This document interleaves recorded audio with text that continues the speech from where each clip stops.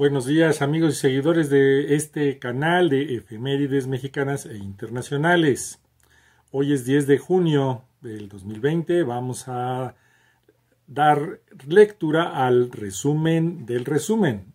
Es decir, en nuestro blog tenemos una mm, edición de las efemérides del día de hoy de ello hacemos un resumen que colocamos en la parte superior, en la cabeza, una eh, imagen grande que se puede utilizar didácticamente en las escuelas para que los jóvenes lean. Se puede bajar de internet inclusive. Y de ese resumen hacemos un resumen en video, que es este. Bueno, pasemos a la primera. En 1642 en este día se recibe eh, en, el gobierno de la Nueva España al 18 virrey Juan de Palafox y Mendoza, obispo de Puebla y visitador de la Nueva España. Eh, su mandato inicia hoy y termina el 23 de noviembre de ese mismo año. Eh, ¿Alguien sabe cuántos virreyes tuvimos? ¿Alguien sabe cuándo inicia el virreinato exactamente? No inicia en 1821 con la caída de Tenochtitlan. Se los dejo de tarea. Bien. En 1820 deja de funcionar en la Nueva España el temido y terrible Tribunal de la Inquisición, el cual sesgó la vida de muchas personas, eh, la mayoría de ellos inocentes de los cargos que se les daban. Este edificio había sido ocupado por ochenta y tantos años por esta institución, había sido construido en el siglo XVI, eh, terminándose su construcción en 1736 eh, con un estilo barroco. Eh, por ahí de 1856, 1856 efectivamente fue destinado para, la, para dar clases de medicina y actualmente es el Museo de Medicina, Museo de la Medicina Mexicana hay que ir a visitar museos. Ya tenemos uno extra para visitar, aparte de los que hemos eh, recomendado en situaciones previas. Un día como hoy, de 1900, nace la soprano mexicana Margarita Cueto. Sus maestros fueron Roset y Vidal Numeil, perfeccionándose en el canto. Ella incursionó en la ópera en 1924, donde actuó en el Teatro Abreu con la ópera Aida de Verdi. En 1925 viajó a Estados Unidos haciendo sus primeras grabaciones para la compañía RCA Victor. Eh, nada más la friolera de 500 discos. fallece el 19 de marzo de 1977. Hay que conocer más acerca de esta importante soprano mexicana.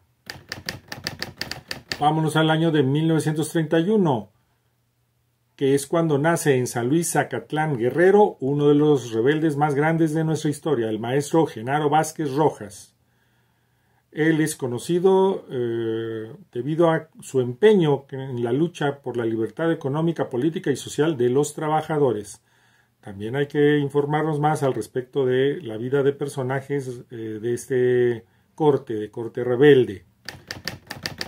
Bueno, Saldamos un salto en el tiempo. En 1971 se da el halconazo, uno de los más vergonzosos eh, momentos de la historia de nuestro país. En este día, un grupo de paramilitares, individuos conocidos como los halcones, que fueron entrenados por el ejército mexicano con apoyo del gobierno de Estados Unidos, incluso algunos fueron entrenados por la CIA, atacan a tiros y macanazos a manifestantes estudiantiles de diversas instituciones eh, educativas, entre ellas del Poli y de la UNAM, eh, y eh, ocurrió que los policías presentes no hicieron ningún tipo de acción para evitar que esto ocurriera, por el contrario, acorralaban a los jóvenes estudiantes en lo que llegaban los paramilitares a golpearlos. oficialmente hubo 120 muertos, aunque es probable que hayan sido más.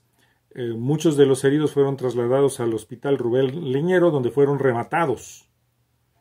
Eh, estas protestas fueron dentro del marco de eh, la búsqueda de democratización de las instituciones educativas. Habían amenazado, habían amenazado el gobierno con que pretendía quitar la autonomía a, la UNAM, la misma que había ganado en 1945. Bueno, lee más al respecto de esta temática de eh, el asunto del halconazo. Infórmate, por favor. Bueno, pasamos a 1998, cuando muere el médico mexicano Salvador Subirán, quien fundara el Instituto Nacional de Nutrición.